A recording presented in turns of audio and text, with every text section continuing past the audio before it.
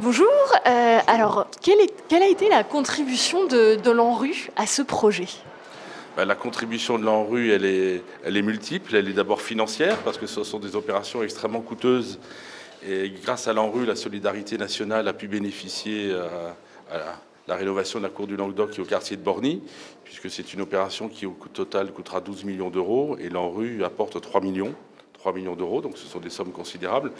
Ceci étant, je veux préciser que derrière l'ANRU, c'est un sigle qui peut paraître un peu barbare, et derrière l'ANRU, ce sont les entreprises, puisque l'ANRU est massivement financé par les entreprises, euh, les crédits qui sont euh, mis de côté par les entreprises pour loger leurs, euh, leurs salariés, et puis par l'État.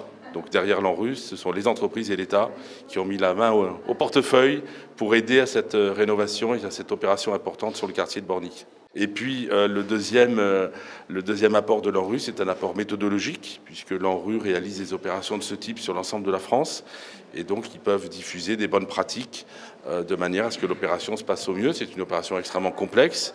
Il y avait des centaines d'habitants dans le quartier qui étaient attachés, tant mieux, à leur, à leur quartier, à leur... euh, euh, où ils ont, ils ont vécu des, heures heureuses et parfois malheureuses, mais et donc tout cela, il fallait le prendre en compte.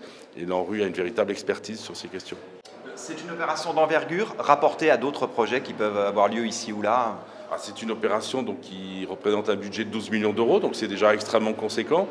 Mais euh, la rénovation urbaine euh, en Moselle dans les années 2005 à 2015, c'était plus de 300 millions d'euros de travaux, dont un tiers financé par l'ANRU.